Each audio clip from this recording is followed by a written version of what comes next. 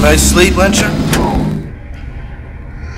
There is something different about you today, Mr. Lario. Yeah, I was having a good day. No. No, it's not that. Sit down. No. Sit your ass down. What could it be? What are you doing? Ah, there it is. Too much iron in your blood.